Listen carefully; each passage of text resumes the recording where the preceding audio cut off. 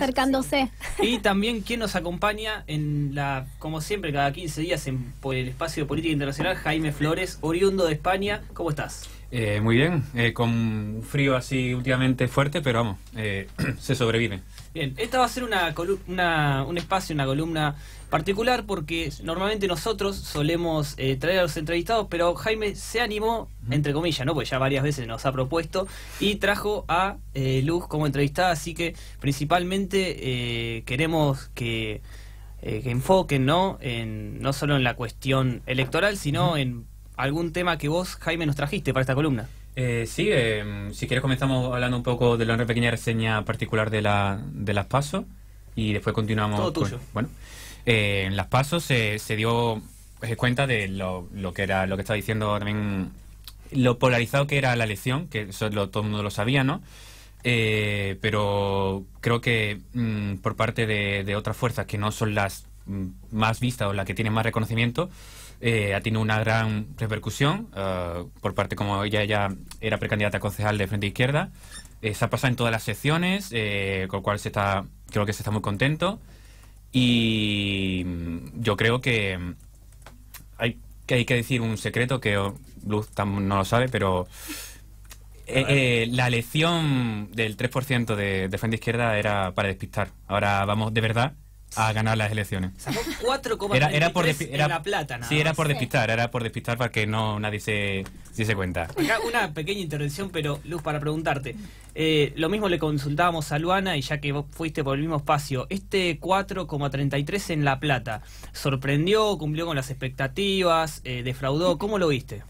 Para nosotros fue una muy buena elección, más allá de que el porcentaje que se requiere para poder acceder a una banca en el Consejo Deliberante de la Ciudad de La Plata eh, no lo alcanzamos en esta instancia de pasos, pero es un muy buen antecedente para poder pelear efectivamente porque en La Plata esté la izquierda en el Consejo Deliberante y a eso apostamos de cara a octubre.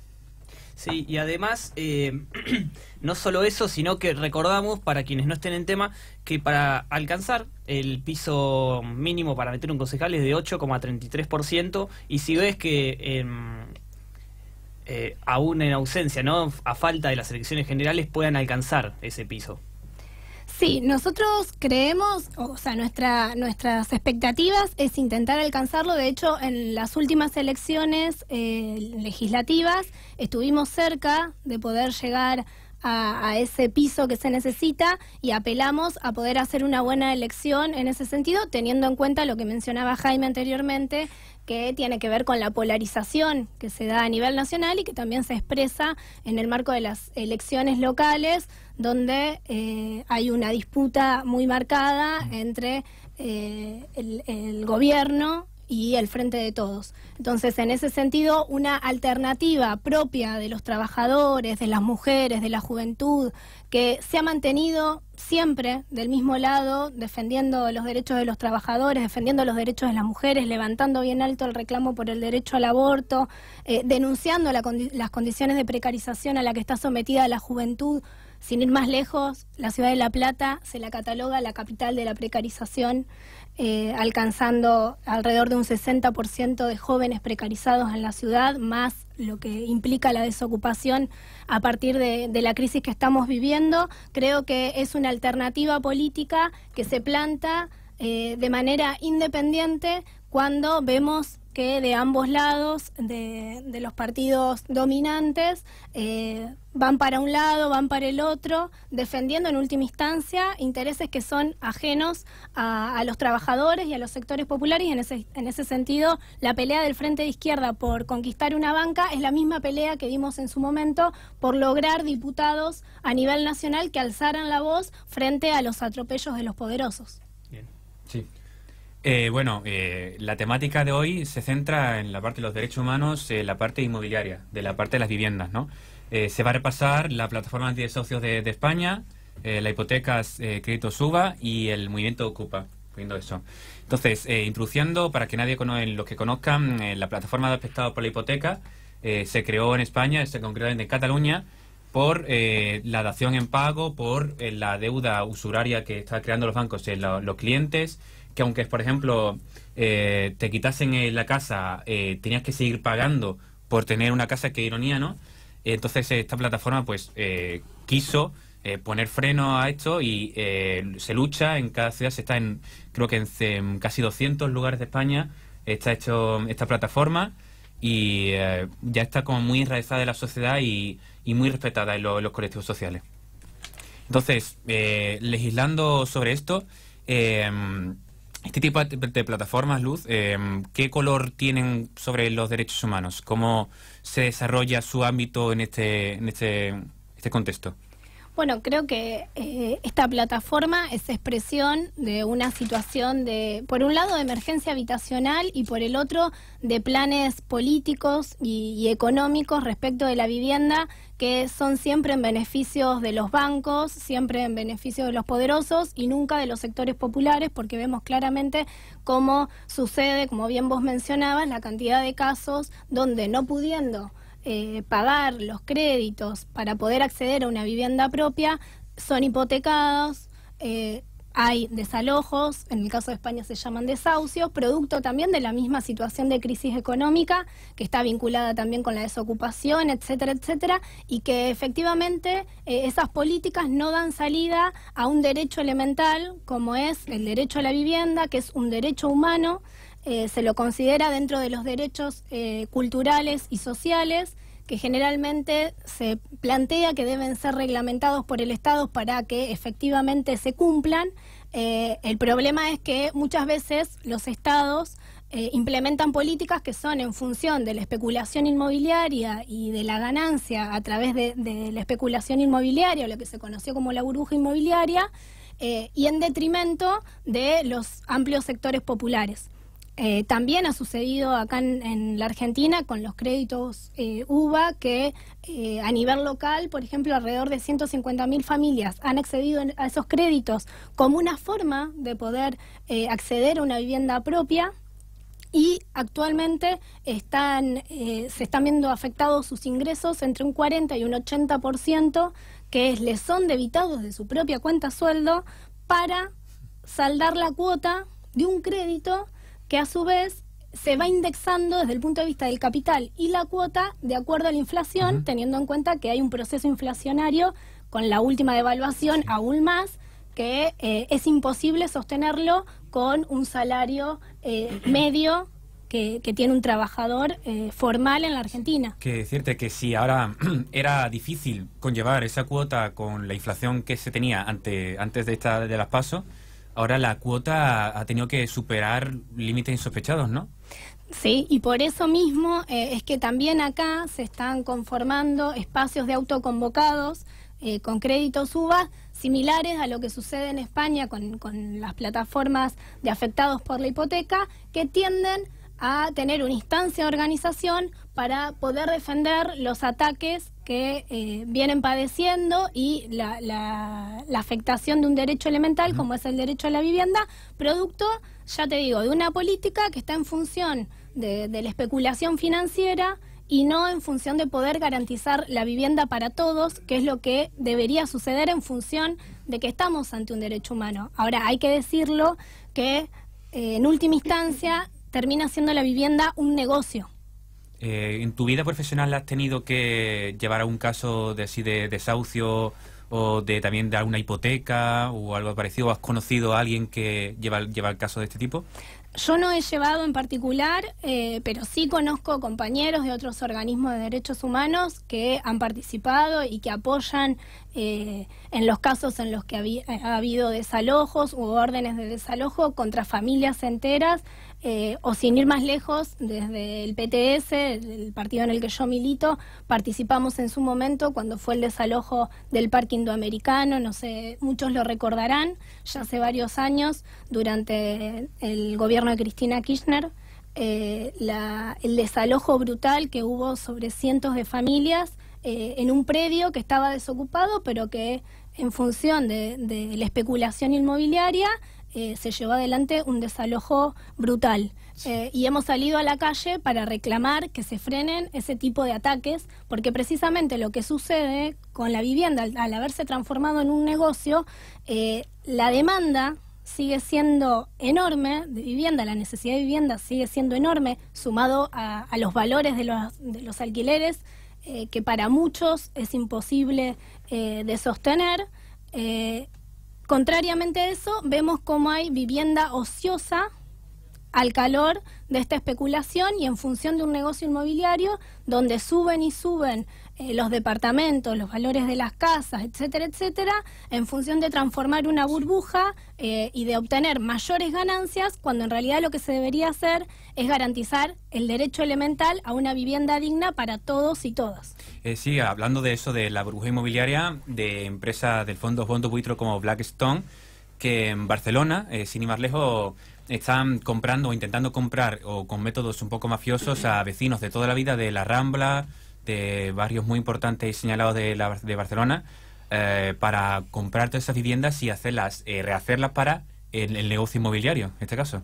Bueno, eh, eso sucede en Barcelona. Por ejemplo, acá en la ciudad de La Plata lo vemos cotidianamente como se venden viviendas para montar grandes edificios, departamentos, que después los venden a valores muy elevados, sin tener en cuenta el, código, o sea, sin tener en cuenta los lineamientos básicos que se tendrían que tener eh, en consideración para garantizar las condiciones dignas de esa vivienda. Y, eso está, eh, eso sucede, las empresas inmobiliarias llevan adelante ese tipo de políticas y están garantizados también por el propio sistema financiero porque eh, hay, un, hay normativa, como por ejemplo el Código de Ordenamiento Urbano, que eh, habilita ese tipo de, negocios. Cuando, repito, tendría que ser un derecho porque es un derecho elemental que todos tengamos un lugar donde vivir. Sí, tal cual. Y ah, a raíz de eso, esas, ese incremento de precios inmobiliarios y crean edificios vacíos, ¿no? Sin, sin nadie que lo, lo, habite, ¿no? Sí, eso sucede en La Plata y sucede, por ejemplo, en la capital federal. Vemos un contraste donde eh, aumentan las villas miserias o el gobierno, el propio gobierno quiere sacar a las personas, el gobierno de la capital federal quiere sacar a las personas que habitan en ese lugar y en vez de garantizarle una vivienda digna y la urbanización, lo que hace es sacarlo de esos lugares para en esos lugares seguir generando más negocios inmobiliarios y expulsar completamente a esas familias. Sí, a raíz del, negocio inmobiliario en los años 60 eh, se creó el movimiento Ocupa, se creó en, Europa, tuvo su punto álgido en los años 70, 80 y era eso, una lucha anticapitalista de que, de que el negocio inmobiliario asfixiaba al, al individuo o individua para poder acceder a una vivienda digna, con lo cual,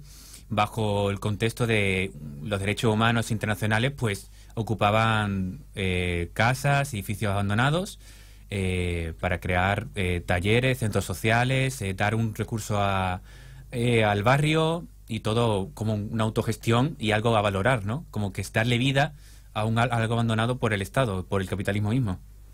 Sí, son fenómenos que se van construyendo desde abajo. Para nosotros desde el Frente de Izquierda nos parece que, que es fundamental pensar en función de un programa que eh, pueda permitir elaborar eh, un plan de viviendas para el conjunto de la población, para los trabajadores, para todos los sectores populares, que por un lado genere eh, trabajo a través de la obra pública, pero que a su vez garantice la vivienda a precios accesibles para las familias trabajadoras. Eh, por ejemplo, em, eh, yo recientemente me voy a mudar a un departamento y voy a pagar eh, al menos 15 mil pesos al mes. No sé, creo que eso viene siendo lo habitual, ¿no? Y no sé si en el centro de La Plata, sí. Sí, y no sé si, no creo que haya muchas personas que puedan acceder a pagar ese tipo de, alquileres, ¿no? No, y sin ir más lejos, por ejemplo, un joven en la ciudad de La Plata trabajando de manera precarizada o, de manera informal, eh, ese, eso, el valor de 15 mil pesos es eh, su salario. Entonces, para eh, pensar la magnitud o lo que implica pagar un alquiler todos los meses, cuando eh, existe una inflación eh, impresionante, cuando los alimentos suben y suben y encima para poder vivir en un lugar hay que pagar un alquiler que es imposible de, sostener en función de los ingresos que tiene la gran mayoría de la población. Y lo mismo sucedió con los créditos eh, UVA que, y lo mismo con, el Procrear, que se los entendía como políticas para poder acceder, para muchas personas jóvenes, eh, poder acceder a una vivienda propia. Entonces, que el propio Estado y el propio sistema financiero eh, generen la indexación de esos créditos eh, y hagan imposible que, que los paguen, eh, es realmente eh, la violación del derecho a la vivienda en última Y instancia. aparte, además, digo, ¿no? Yo pienso, además de eh, garantizar, por ejemplo, que, no sé, que un joven se pueda comprar su casa o, o su departamento, lo que sea, también deberían garantizar que tengan empleo en blanco y que cobren lo que tienen que cobrar. Empezando por ahí, porque todo muy lindo con, los créditos y no sé qué, pero si realmente no, no, no hay trabajo en blanco, los o sea, los jóvenes somos los que estamos más afectados quizás eh, con respecto a este tema, eh, si bien afecta a, a toda la población me parece, pero bueno, los jóvenes más que nada, eh, debería garantizarse eso principalmente también, ¿no? El tema del trabajo, un trabajo en blanco donde no te paguen, no sé, 12 mil pesos porque no es ni un alquiler. A Jaime acá está diciendo que él va a pagar eh, 15 de alquiler. Tienes que tener en cuenta, no sé, internet, eh, porque Servicios, hoy no puedes estar sin internet, claro, eh, expensas, o sea, es mu- mucha plata. Eh, por ejemplo, tú que vienes pagando, Tomás, que también reciente has trasladado. No voy a pasar mi dirección, pero vivo en el centro de La Plata y pago 12.500 pesos. Eh, por suerte cerré contrato, así que no, salvo que, que haya algún ajuste pequeño por inflación, digo, mudarse en este momento estaríamos hablando de otros valores, creo que incluso más de No, 15.000, sí, es- es imposible. teniendo en cuenta la devaluación. Y te quiero preguntar, Luz, ¿no? Ya que estamos eh, tocando aspectos jurídicos, ¿crees que existe eh, algún vacío legal respecto a esta cuestión? A ver, eh, la ley de alquileres eh, se está buscando, está, la intención es reformarla. eh, hay muchos planteos respecto de asociaciones de inquilinos que eh, plantean la necesidad de que haya modificaciones para que eh, no sea todo en beneficio de las inmobiliarias y de los propietarios. Esto que vos planteabas, por ejemplo, cómo se dan los aumentos, en qué condiciones, eh, cada cuánto se renueva un contrato, diferentes aspectos eh, que se están se está planteando esta discusión porque es una necesidad y porque continuamente hay atropellos. Y creo que lo que planteaba anteriormente es fundamental. Por ejemplo, sucede que muchos jóvenes buscan un amigo o una amiga para poder mudarse y compartir un departamento para poder sostener un alquiler. Y el tema del trabajo es un aspecto central porque eh, quienes acceden a los créditos UBA o en los casos que han accedido a créditos hipotecarios en España son trabajadores en blanco, es decir, trabajadores formales donde tienen un ingreso eh, que eh, el propio banco evalúa, en este caso el Banco Provincia en, en- en la provincia de Buenos Aires, evalúa si estás en condiciones de acceder a ese, ese crédito y si vas a ser solvente para poder afrontar el pago que corresponde. Pero, como bien mencionaban, hay miles y miles de jóvenes eh, que están en condiciones de precarización laboral, es decir, que ni siquiera pueden tener la expectativa de poder acceder a ese tipo de créditos para poder tener una vivienda. Te Además, perdón, eh, pero es incomparable, ¿no? Para, para hacer redondear tu idea, es muy difícil de comparar ya en cuanto a eh, el aspecto de precarización laboral, la cotidianidad quizás del empleo en blanco que hay en España, por ejemplo, a acá que cuesta realmente y es como que hasta hay que estar agradecido de tener un empleo en blanco, hay que cuidarlo porque es, es frase casi común, ¿no? Bueno, pero si estás en un lugar y estás en blanco, cuídalo porque no en todos Sí, lados te van a contratar. Es Sí. así. Sí, eh, mm, volviendo al tema Ocupa, me gustaría preguntarte, eh, Luz, eh, ¿qué vacío legal o qué bajo qué amparo legal de derechos eh, se amparan el movimiento Ocupa? Cuando llega a, una- a un sitio abandonado, lo ocupa, ¿qué, qué- ¿con qué armas pueden defenderse cuando la policía viene a intentar desalojarlos? A ver, en principio, las declaraciones de derechos humanos, como bien eh, mencionaba, son derechos culturales, sociales y económicos, están dentro de, de- de ese, el derecho a la vivienda está dentro de ese esquema de la declaración, desde la Declaración Universal, en el caso de América Latina, eh, la, la Convención Interamericana, eh, hay diferentes parámetros. Ahora, hay una realidad que es que el propio Estado lo que hace es privilegiar la propiedad privada. Entonces, muchas veces lo que sucede es que se introduce el sistema penal eh, en estas cuestiones y termina habiendo desalojos de manera violenta cuando en realidad hay dos derechos contrapuestos eh, y lo que debe primar es garantizar efectivamente eh, el, derecho a la vivienda y no que prime el lucro económico o, las cuestiones económicas por delante, teniendo en cuenta un contexto social y político donde precisamente estamos planteando que hay emergencia habitacional. Sí, aunque para ir cerrando la, la me gustaría nombrar casos Mm, en España de que, de que ha funcionado este momento del movimiento y que ha habido un progreso para el barrio y para la zona.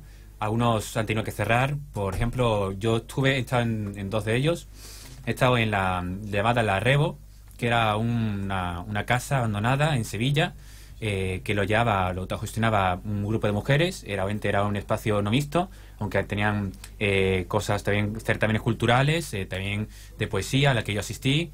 Que estuvo bastante, bastante habitado y tuvo una impresionante recepción.